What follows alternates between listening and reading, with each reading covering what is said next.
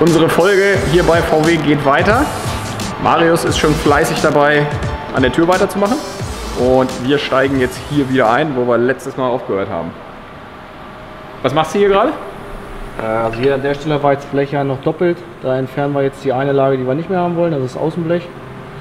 Werden das Innenblech entsprechend instand setzen und dann ein neues Stück Außenblech Das heißt, das fertigen. Originalblech ging hier rum Genau. und das sind noch die Reste von dem rostigen Blech. Genau. Wenn ihr jetzt mal genauer hinguckt, seht ihr, was wir hier eigentlich gerade machen. Obwohl äußerlich das Ganze gar nicht so scheiße aussah, sieht man halt doch schon, dass dazwischen schon Rost ohne Ende eigentlich war. Ne? Also allzu lange hätte die es wahrscheinlich nicht mehr gemacht. Ja, es wird zumindest bei Neulack dann irgendwann in ein paar Jahren wieder hochgekommen. Ne? Hier hochgekommen, ne? Okay. Das heißt, jetzt erstmal die Resten, restlichen Reste noch entfernen. Das war ihr Original-Punktgeschweiß? Genau, das ist Punktgeschweiß. Kommen wir mit unserer Zange leider aber nicht mehr rein. Wir haben zwar äh, eine Widerstandspunktschweißanlage, Mhm. komme ich aber, so kleine Elektroden haben wir nicht. Das heißt, hier wird dann später einfach eine Lochschweißung sozusagen. Wir haben jetzt ja hier auch in der, auf der Innenseite von der Tür diverse Durchrostungen. Was machen wir damit? Das müssen wir auch instand setzen. Müssen wir dann mal gucken. Das heißt, hier auch abschneiden und auch ein Blech Ja, ansetzen. was da dann nach dem Saubermachen überbleibt. Ja. Ja, ich denke mal nicht so viel. okay, dann machen wir weiter.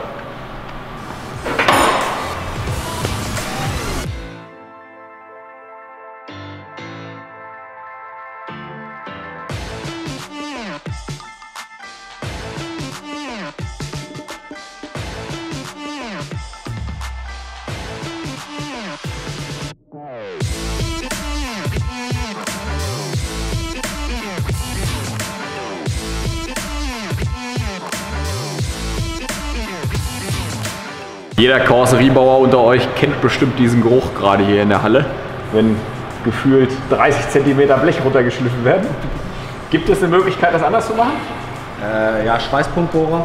Dafür war der Zustand hier aber schon zu weit weg. Schweißpunktbohrer heißt, das sieht mehr aus wie so ein, wie so ein Fräser, Ja, kann ich gleich mal holen. wo du direkt auf den Schweißpunkt gehst. Hat ein bisschen was von einem Holzbohrer. Ja.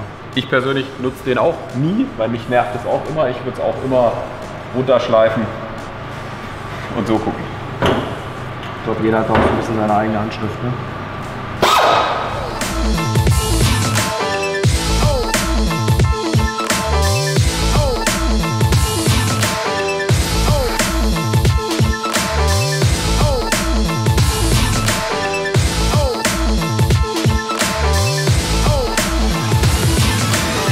So, wir haben jetzt erstmal, beziehungsweise Marius hat jetzt erstmal jegliche Flächen, wo später wieder ein Brett, ein, Brett, ein Blech drauf liegt, erstmal blank gemacht. Genau. Das war jetzt wahrscheinlich erstmal der einfache Teil. Ja. Und der Ein, einfache Teil zum Saubermachen. Ja. Was machen wir mit hier drin? Äh, das wird natürlich durch, das, äh, durch die Tauchentlackung, wird der Rost später da eh weg sein. Ich will jetzt aber nur, damit die Zuschauer das einmal sehen, was auch Sandstrahlen bedeutet, würde ich das einmal zeigen nachher, wie wir das... Ah, okay, stimmt. Hatte, hatte ich schon wieder vergessen, dass auch jegliche Anbauteile auch zum Entlacken gehen. Also prinzipiell ist für uns nur wichtig, dass die Stelle 100% sauber ist, wo wir gleich ein Blech wieder auflegen. Mhm. Ähm, aber ich würde es einmal zeigen, was vielleicht wissen nicht alle, wie so Sandstrahlen abläuft, was das für ein Ergebnis ist und so weiter. Ne? Aber beim Entlacken geht auch der Rost weg. Mhm. Also es ist Entrosten, Entlacken, das ist ja Kann alles. nach der genauen Zusammensetzung der Lauge darfst du mich da nicht fragen. Wir haben jetzt hier an der, an der Kante zwischen den Blechen noch so ein paar, paar Stellen. Was macht, was macht ihr damit? Ja, das sind im Prinzip ganz schön viele Stellen. Ne? Also der Streifen ist im Prinzip komplett desolat. Da werden wir nur die, die Kante, die jetzt quasi nach unten geht, äh, nochmal ersetzen. Dann hier genau auf der Kante schweißen. Das werde ich aber machen, nachdem wir ein Blech angefertigt haben. Ist egal wie rum eigentlich. Ne? Okay.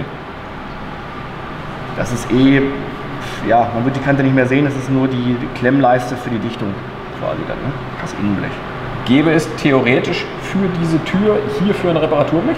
Gäbe es. Würde es geben, theoretisch. auch, Ne? Aber ihr macht solche Bleche lieber immer selber. Ja, Ich könnte jetzt auch ins Lager gehen und eins holen. Ja. Äh, das ist dann aber wieder beschichtet, das müssten wir erstmal auch wieder strahlen und so weiter. Aber das ist schon zu weit vorbehandelt. Sind das dann aber, wenn dann original VW-Rennbleche Nee. oder Zubehör? Ist zu und passen leider auch nicht alle optimal. Okay. Ne, Also Außenhaut haben wir relativ gute, das ist aber jetzt zu schade, eine ganze Außenhaut zu verwenden. Innen würde es als Repblech geben. Ja, dafür ist es aber noch zu wenig befallen. Es gibt Türen, wo es wirklich unterhalb mehr oder weniger weg ist, ne? Da Okay. Außerdem, äh, ich finde, Repblech nehmen wäre ja ein bisschen zu einfach, weil wir Genau. wollen ja nicht immer den einfachsten Weg gehen, sondern wir wollen den interessantesten Weg gehen. Ja, zumindest mal so ein bisschen zeigen, was man so machen kann oder wie Karosseriebau so im Groben funktioniert. Genau. Ne? Und ich wollte ja gucken, ob Marius auch wirklich hier Bleche dengeln kann. Vielleicht habe ich auch Maler gelernt. Und habe euch das nur erzählt. Ähm, genau, also grober Ablauf wird jetzt sein, hier muss eine Art Schachtel drauf. Die werden wir nach hierhin absetzen und unterschieben. Das werde ich dann hier mit der Außenhaut verschweißen. Und in alle Richtungen wird sie abgekantet werden. Also die drei Seiten werden 90 Grad nach unten gekantet oder hier nicht ganz 90 Grad. In den beiden Bereichen werden wir es auch ein bisschen strecken müssen, weil wir hier zwar einen leichten, aber auf jeden Fall einen Radius in der Außenhaut haben. Auf das Gerät können wir gleich gerne einmal eingehen. Ich habe da was vorbereitet, dass wir das mal zeigen können. Ähm, Radius heißt so. Genau, also bauchig quasi so jetzt von so gesehen ist sie nicht, aber äh, in der Mhm, Hochachse gut. quasi. Ne? Genau. Und dann, ja, wie gesagt, das erstmal alles anfertigen, vernünftig anpassen und dann zum Schluss einsetzen. Würdest du das am Ende nach dem Schweißen auch noch verzinnen, so wie wir das neulich in dem Grip-Video am Kotflügel gemacht haben? Ja, wenn du das willst, mache ich das. Nein, ist, selbstverständlich hier. Also wir Okay. zinnen eigentlich Alles. 99 Prozent. Ja. klar. Ist, ist bei so einer Außenhaut immer so eine Sache, da kann ich einen Brenner natürlich nicht draufhalten, dann kann ich da Trampolin drauf springen. Ne? Mhm. Aber ähm, mit dem Kolben vorsichtig kann man da auf jeden Fall dahinter das ein bisschen glatt zinnen. Mhm. Okay, dann packen wir es. Ja, Also ähm, Blech machen. Genau, Was, was, was, für eine, was für ein Blech nehmen wir dafür? das wird 08 sein. Einfach ganz normales. Ja, also das Unbehandelte, ich habe hier schon mal so ein Stück parat gelegt, das werden wir gleich nochmal kleiner machen. Ich lege das mal René vor die Linse hier. Ähm, ist unbehandeltes Mhm. äh, Karosseriblech. Ja. Hat so ein bisschen eine Tiefzieheigenschaft, ist von der Materialgüte her ein bisschen anders als normales Stahlblech, sage ich mal. Aber im Prinzip unbehandelt einfach. Okay. Genau. Womit würdest du gerne anfangen? Wollen wir das Blech an sich erstmal anfertigen? Wollen wir einmal kurz das Gerät zeigen, was das später macht, was das Mir kann? ist das sowas von egal. Weil ich würde dich schon ein bisschen einbinden wollen, nicht, dass du einschläfst hier. Nee, ich würde sagen, wir machen das in der gleichen Reihenfolge, so wie du es auch machen würdest, wenn ich jetzt hier nicht stehen würde und dir auf den Finger gucken würde. Okay, dann würde ich jetzt mal Kaffee trinken gehen. Okay, dann gehen wir Kaffee, komm, wir gehen mal Kaffee trinken. Nein. äh, genau, dann fangen wir mal an.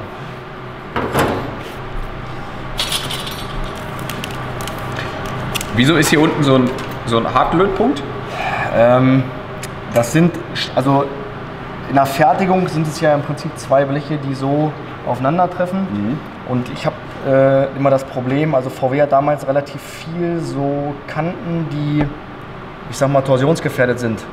Ne, so eine Tür kann ja auch mal irgendwie, einer haut es mal zu, obwohl noch was zwischen ist oder so. Und da ist Hartlot ein bisschen geeignet dafür. Also es wurde auch viel, äh, früher viel so Windscheiben, Dachrahmen, Windschutzscheiben und so, äh, die Bereiche auch hart gelötet. Können wir auch gerne wieder hart löten. Wo du gerade sagst, äh, Tür und Finger dazwischen, dann muss ich einen Schwank aus meiner Jugend erzählen. Den aller, allerersten Livestream, den ich damals bei Facebook gemacht habe, wo ich einen Motor eingebaut habe. Wird wahrscheinlich keinem aufgefallen sein, aber da hat ja mein kleiner Bruder die Kamera gehalten. Und in dem Livestream schmeiß ich die Tür zu, die fällt auch in die erste Sicherung rein und Joni hat aber seine Finger zwischen. Hat dann aber dementsprechend nicht rumgeschrien. Also jeder, der es jetzt sucht, der wird es finden. Relativ am Ende, als das Auto lief, ähm, ja, war ein Finger drin. Ist aber nichts passiert, Finger sind bis heute dran. Aber er Ja. hat wacker durchgehalten. Er fasst nicht mehr rein. genau, jetzt hat er es gelernt. Gut, packen wir's.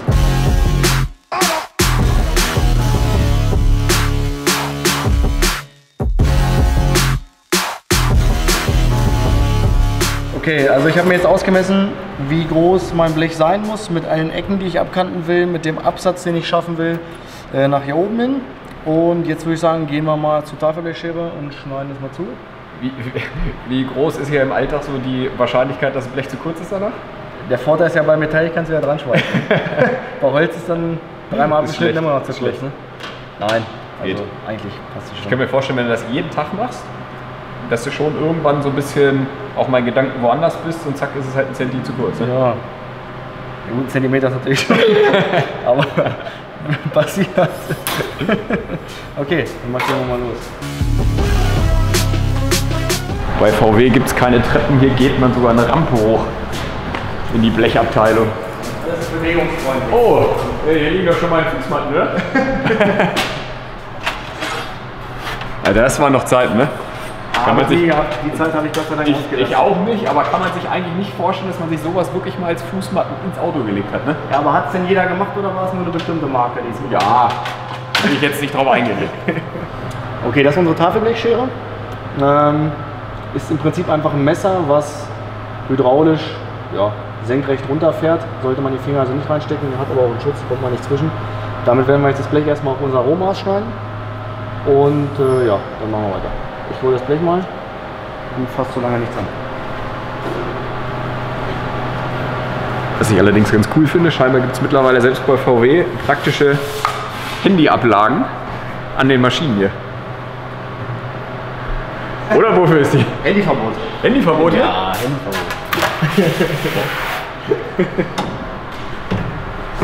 äh, so, äh, 83 wollen wir an der Stellen wir das hier ein. Auf 83 mm, also 8,3 cm. Hätte der Maurer jetzt gesagt. 8 Centi. 8,3 cm. Ja.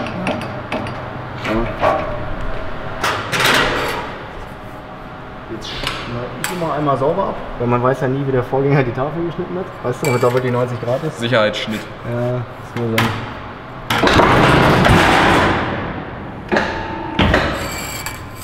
So, jetzt brauchen wir 600. Aber so wie die gerade bei 0,8er Blech schon geknallt hat, wird das bei 2 mm gut rumsen hier, ne? Äh, ja, das ist schon. Und deswegen sollte man mehr auch nicht reinstecken. Jetzt weißt du auf jeden Fall, wie Björn sich fühlt, wenn ich immer die ganze Zeit dazwischen brabbel. Der ist noch wenig. Ich glaube, er hat mehr zu leiden. Ne?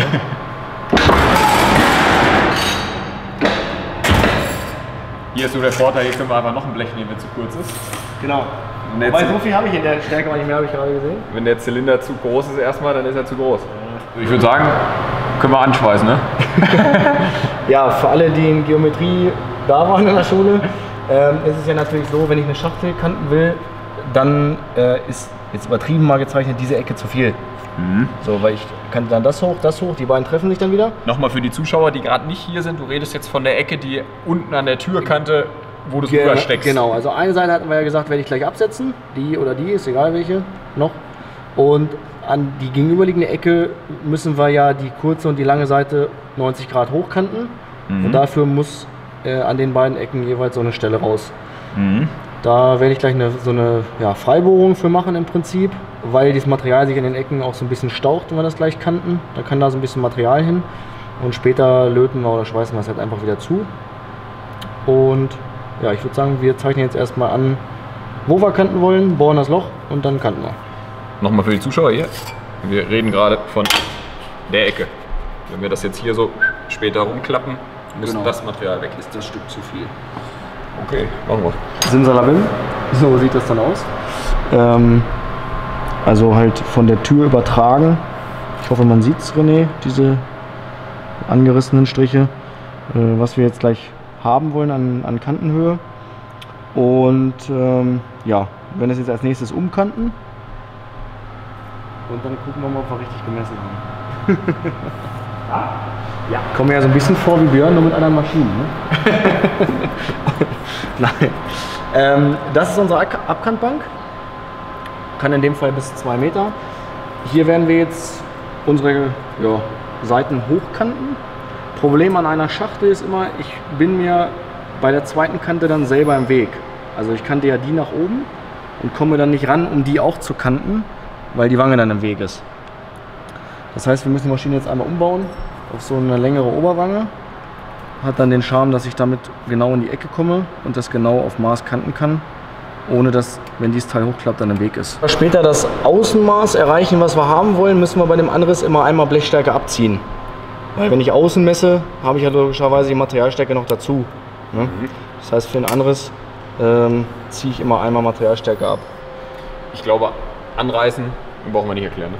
Ich denke nicht, ne? Also Ist ähnlich wie äh, ein Lineal nehmen mit einem Edding und einmal übers Blech ziehen. ähm, Nur nicht mit dem Edding. So, jetzt kommst du wieder zum Einsatz. Du darfst dich mal in den Hebel be Jawohl. begeben. Eigentlich geht es mit Fuß, aber bei den langen, bei der langen Oberwange nicht. Ähm ja, dann mach mal. Stopp. Ein Stück wieder zurück. Gut. So.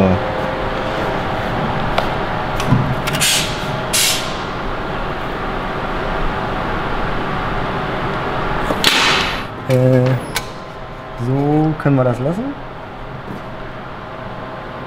So. Jetzt bitte wieder zu. So halten. Ähm.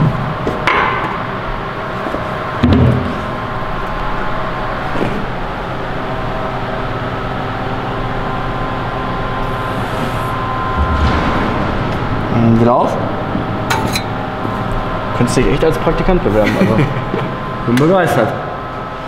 Sucht ihr noch Praktikanten? Praktikantinnen. Ah, scheiße. Bin ich leider raus. Okay, wieder zu.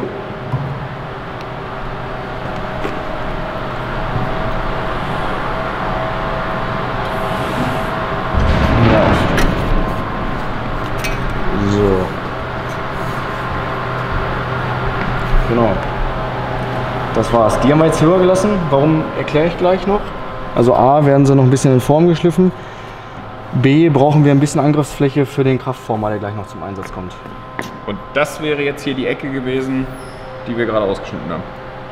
Ähm, genau, das was hier jetzt quasi zwischen ist. Ne? Ja. Ich habe es jetzt noch ein bisschen weiter aufgelassen, das ist nicht ganz 90 Grad. Weil ich meine mich zu erinnern, dass die Tür an der Stelle nicht ganz 90 Grad ist. Das gucken wir gleich nochmal. So. Weiter geht's. Sieht immerhin schon mal so ein bisschen nach so einem Türblech aus. Ne? Gucken wir mal. Yes. Also, wieder runter. So, Moment der Wahrheit. Passt. Fast. Ja, hier ist noch ein bisschen zu hoch jetzt, ne? Ja. Das schleifen wir dann gleich passend. Genau, das ist halt eigentlich mit das Wichtigste, dass auf jeden Fall diese Linie vernünftig weitergeführt ist hinterher und natürlich auch diese, ne? Damit die Türen wieder zueinander fluchten und der Spalt natürlich auch nicht beeinflusst wird. Ne? Das heißt, wir schleifen es jetzt hier erstmal auf die richtige Höhe Mhm. und setzen es dann hier ab. Und dann gucken wir nochmal. Okay.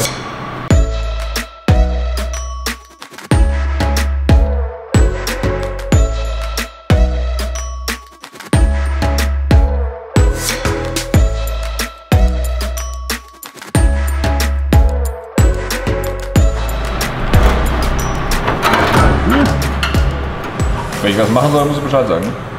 Lieber nicht so viel. Was war dein, was war dein erstes Karosserieblech, was du irgendwo eingeschweißt hast? Meine erste Karosseriearbeit war, dass ich mit meinem Zweier über einen Verkehrspoller genagelt bin und mit Vater und Schweller wieder ausrollen musste. Vorher aber nichts anderes gemacht irgendwie so mal. Eine Endspitze oder so. Oder? Nee, relativ spät erst. Also, Und was sind die ersten Blecharbeiten, die man in der Berufsschule so macht? Ja, dieser Grundlehrgang Metall heißt da, glaube ich, da lernst du erstmal mit der Blechschere umgehen, mit der Pfeile und sowas, ne? So die harten Basics. Und dann kommt, ja, Kanten, Biegeverkürzung, Mhm. Sicken, Sickenmaschine. Also ne? erstmal nichts Praktisches am Auto. Boah, nee. Also, zum, also das Problem ist, die Ausbildung in der Industrie ist natürlich anders als die Ausbildung im Handwerk. Mhm. Ne? Also man wurde schon so ein bisschen darauf gedrillt, in die Produktion zu gehen und das an dem Tee zu tun. Ne? Äh, man kommt zwar in der Ausbildung in verschiedene Autohäuser und auch zum Beispiel zur VW Motorsport. Das ist auch cool, ist auch gut, dass man das tut. Aber heute in einem Autohaus ist ein Unfallschaden ja auch viel, ich will jetzt keinem zu nahe treten, aber viel geschraubte Teile, die man nur tauscht. Mhm. Ne? Also so richtig eine Karosseriearbeit. Ja, klar. Da Wie zum Beispiel an deinem Audi die Seitenteile oder so, das ist ja vom, ich will nicht sagen vom Aussterben bedroht, aber heute klebt glaub, ja bei- alles nur noch und clincht. genau, bei vielen Autos sind selbst die Seitenteile mittlerweile, glaube ich, Ja. auch geschraubt, ne? Ja. dass man die so abnehmen kann. Ja. So, okay, wie geht's weiter? ja, so ist der Zwischenstand jetzt. Das Vermessen haben wir uns immerhin schon mal nicht, zumindest nicht so, dass wir es nicht korrigieren können noch. Ähm, jetzt gerade wäre das noch auf Stoß, könnte man mit Sicherheit auch machen. Möchte ich aber nicht, ich möchte das absetzen, wie gesagt. Was, was bedeutet absetzen? Ähm, wir haben Absetzzange, gibt es auch biomechanisch betrieben, also mit Hand. äh, diese ist jetzt pneumatisch. Ähm, die setzt im Prinzip das Blech einfach um seine Materialstärke ab, im Prinzip wie eine Treppenstufe. Das heißt, wir können das dann hier unterschieben, haben aber die gleiche Höhe hinterher wieder äh, die gleiche Flucht von der Außenhaut. Ne? Bringt ein bisschen Stabilität rein fürs Schweißen, fürs Löten und ähm, ja, ist einfach stabiler. Die Profi-Version. Ja, gibt es auch Leute, die sagen würden, ich würde es auf Stoß setzen aus Rostgründen, weil natürlich ein Absatz auch immer eine Rostquelle ist. Da wir das ja aber auf jeden Fall entlacken und beschichten und so, rostet so ein Absatz eigentlich später nicht mehr. Ich weiß noch, ich habe an der Limo habe ich richtig so einen Schweißprimer zwischengemacht. Also ich habe das noch, wie hast du gesagt, biomechanisch abgesetzt, weil so ein Ding hatte ich nicht. Mhm. Und habe einfach so einen Schweißprimer gemacht, der direkt beim Schweißen, ich glaube, das in dem Moment verzinst sich ja sogar so leicht. Ne? Genau, würde ich jetzt auch tun, haben wir auch. Da das aber noch chemisch entlackt wird, ist der Primer wieder weg. Okay. Das heißt, es bringt nichts. Ne, Das heißt, wir machen es gleich ohne. Und äh, zumindest die Primer, die ich habe. Ich weiß nicht, ob es vielleicht welche gibt, oder die wir hier haben. Ich weiß nicht, ob es vielleicht welche gibt, die das können. Unserer kann es nicht. Ja, das heißt, wir würden es jetzt einmal absetzen. Ausklinken außen. Und ja, dann Geht's müssen wir es genau hier außen noch einmal stauchen. Aber ich würde sagen, wir setzen erstmal ab.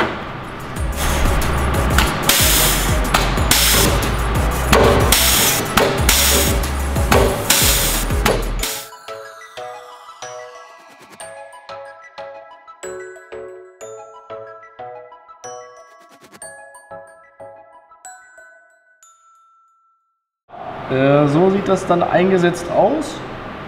Ich weiß nicht, wollen wir das noch einmal wieder raus? Sag noch mal einmal kurz in zwei Sätzen, was du jetzt gerade noch gemacht hast. Wir haben die Kante hier drunter ist abgesetzt. Mhm. Die hat natürlich aber hier gestört. Das heißt, hier haben wir es noch ein bisschen ausgeklinkt. Das Weil hier die noch ein Versteifung, die Verstärkung von dem inneren Blech stehen lassen. Das können wir gleich noch ein bisschen hochschieben. Das war jetzt nur mal so die, der erste Test. Mhm. Ähm, Und jetzt sieht man hier auch schön durch die Absatzkante, ist das halt alles auf der gleichen Höhe. genau. Das ist jetzt gleich. Äh, ein bisschen können wir gleich noch einen Millimeter hoch. Dann fluchtet das noch ein bisschen besser zum Absatz. Und dann würde ich in die Türaußenhaut so alle drei bis fünf Zentimeter ein Loch bohren, was ich dann einmal voll schweiße. Also das, ich zwinge das Material zusammen, verschweiße das. Muss man ein bisschen aufpassen, immer wieder kühlen. Ähnlich quasi wie eine Punktschweißung ab Werk, Genau. nur halt auf die einfache Weise. Genau. Und die, ja, die verbleibende Sicke oder der Absatz an sich, der wird dann nur, auch nur partiell verschweißt und der Rest dann zugezinnt. Ähm, eine Sache haben wir jetzt noch und zwar haben wir ja, wie gesagt, auch wenn nur leicht, aber in dieser ganzen Flucht auf jeden Fall einen Radius. Und wir haben jetzt einen stumpfen, relativ gerades, oder nicht ein relativ, sondern ein gerades Stück Blech daran gemacht. Ne?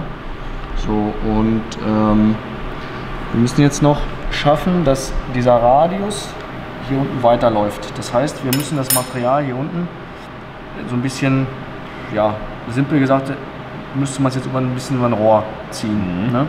Das geht natürlich aber nicht mehr, weil wir es ja umgekantet haben. Das heißt, wir werden jetzt hier außen das äh, Material ein bisschen stauchen. Dann zieht es die Fläche ein bisschen mit. Hier in der Mitte müssen wir ein bisschen helfen. Und hier außen macht das für uns der Kraftformer. Das ist was, wo du auf jeden Fall wieder zum Einsatz kommen darfst. so, ich hoffe, du hast gut gefrühstückt. Ähm, ich würde das gerne sinnbildlich einmal an so einem simplen Blechwinkel zeigen, den ich jetzt einmal kurz gekantet habe. Im Prinzip sind das zwei Werkzeuge mit vielen kleinen Zähnen, damit die Grip auf dem Material haben. Und da drin sind im Prinzip Keile. Wenn wir die Werkzeuge jetzt zusammen bewegen, können wir mal vorsichtig machen, das ist ohne Blech dazwischen nicht so gut, nur ein bisschen mal sehen, sieht man hoffentlich mit der Kamera, René, kriegst du das drauf, dass die Spalte kleiner werden. Das heißt, ähm, wir packen das Material mit diesen kleinen Zähnen an und drücken es zusammen, also stauchen es. Die gleichen Werkzeuge gibt es nochmal, sind dann rot, ähm, ohne Spalt. Sehen dann so aus, also fast ohne Spalt. Und ziehen sich dann, wenn Philipp jetzt drücken würde, auseinander. Das wäre zum Strecken. Wir wollen aber in unserem Fall stauchen. Ich will es nur einmal sinnbildlich zeigen und dann machen wir es gleich an unserem Reparaturblech. So, das heißt, du darfst jetzt mal zeigen, was du kannst, aber ein bisschen mit Gefühl, wie zu Hause. Genau, reicht schon. Kriege mit links über hin. Du brauchst gar nicht so doll. ähm, weil wenn man zu doll macht, dann kommt so eine Welle. Also wir machen es lieber in vielen kleinen Schritten. Ähm, genau, reicht schon. Immer ein Stück vorwärts bewegen. Ist auch ein Verfahren, um zum Beispiel Radläufe nachzubilden. Ne? Wenn man mal einen Radlauf reparieren will. Opel ist ein bisschen einfacher, sind fast alle gerade gewesen. Ne? Ähm, genau. Ich glaube, das reicht schon, dass wir den Zuschauern zeigen können, was jetzt passiert ist. Kriege ich jetzt den Job? Sah ganz gut aus. Also ich würde auf jeden Fall in Probearbeiten mal arrangieren. So, je, je öfter wir das jetzt tun würden, umso ja, stärker würde im Prinzip der Radius werden. So doll brauchen wir es jetzt in unserem Fall nicht. Würde man da theoretisch einen Kreis fast mit hinbekommen? Ja. Gibt das Blech das her? Stauchen ja, strecken. Wenn wir das jetzt immer weiter strecken, reißt es dann einfach ein. Okay. Ne? Ähm, aber du würdest es jetzt schaffen, also wir würden auf diesem Winkel jetzt auf jeden Fall einmal wieder zusammenkommen. Das Mhm. würden wir schaffen. Ne? Ja, dann würde ich unser Blech da einmal rausnehmen. Das ist natürlich jetzt was, was man nicht wirklich gut messen kann. Das muss man so ein bisschen nach Auge machen. Ne? Mhm. Also es ist jetzt in dem, ich habe es nur so gemacht, weil wir unser Blech nur so leicht stauchen müssen, dass es kaum aufgefallen wäre. Deswegen dachte ich, kann man es an den Winkel Zeigen wir das mal, ne, was geht. zeigen. Genau. Okay. Dann nehmen wir es einmal wieder raus. Das ist jetzt auch was, wo die, die, ich sag mal, die meisten Karosseriebauer würden es jetzt einfach so nehmen und einschweißen. Genau. Und das wären dann auch schon die besseren Karosseriebauer, sage ich jetzt mal. Ja, Weil, dass man da jetzt noch eine leichte Wölbung reinbringt, ist schon wirklich. Es ist halt einfacher für den Lackierer, weil Lackierer arbeiten zumindest bei geraden Flächen viel mit Kanten, ne, also konzentrieren sich viel auf die Kanten. Und wenn die Kante stimmt zum Radius, ist es halt eine Ecke leichter für den Lackierer. Mhm. Ne? Viele sagen, ist mir egal, macht der Lacker. Aber da die Lacker hier im gleichen Haus arbeiten, die kommen dann runter, die kommen runter, dann gibt es Pfeffer, weißt du? Deswegen wir, Ärger von Hecher. müssen wir es gleich vernünftig hochbringen. Genau. So, also meine Aufgabe ist es jetzt, das Blech kaputt zu machen. Genau. Also wenn du jetzt mich ärgern willst, drückst du einmal voll zu und wir fahren beide nach Hause. okay. Bist du soweit? Mhm. Gut, stopp, reicht schon. Nochmal.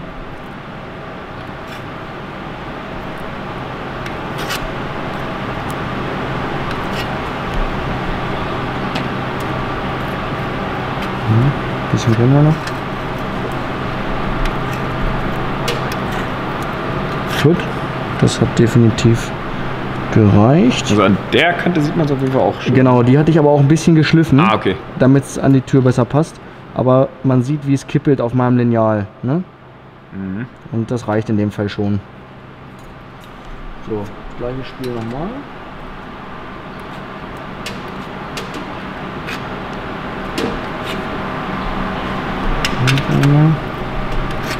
So, das reicht schon. Ist jetzt wahrscheinlich mit der Kamera kaum zu sehen, aber für unseren Fall reicht das. Ja, jetzt ist im Prinzip für heute Feierabend, richtig? Erklär noch mal kurz, wie es jetzt weitergeht. Also, Also- für heute müssen wir erstmal aufhören. Ist schon spät heute Abend, haben aber jede Menge geschafft. Genau. Ist doch ganz gut Action, so eine Tür immer zu retten. Aber Ja. extrem interessante Arbeit auf jeden Fall. Ich denke, es gibt wirklich viele heutzutage, die mit Blechrein gar nichts mehr anfangen können. Mhm. Deswegen ist das auf jeden Fall interessant. Aber sag noch mal einmal, auf was die Leute sich freuen können in der nächsten Folge. Genau, also wir werden jetzt, ähm, wie gesagt, eigentlich ist es nicht nötig. Ich werde es aber einmal sauber strahlen. Das kann René dann vielleicht einmal so aus der Strahlkabine in einem kleinen Porn dann zeigen, dass es auf jeden Fall einmal metallisch blank ist. Ähm, um eine vernünftige Schweißbasis zu haben und um auch sicherzustellen, dass definitiv hier nicht mehr rostet, falls das Bad nicht ganz zwischenkommt. Dann werden wir das, wo ich ein bisschen tief gelandet bin, die beiden waren wir nicht, aber das hier so ein bisschen äh, aufschweißen wieder, damit das nicht zu sehr geschwächt ist. Die Kante hier herstellen. Ich glaube, die war ausreichend zu sehen, René, wie schlecht die vom Zustand her ist. Ne? Und werden dann unser Blech ja, nochmal, sag ich mal, die letzten 5% einpassen, einschweißen und glatt. Sehr gut. Und dann soll es das vom Thema Karosseriebau gewesen sein. Das heißt, zum goldenen Abschluss darf ich jetzt das von mir gebaute Blech hier einpassen.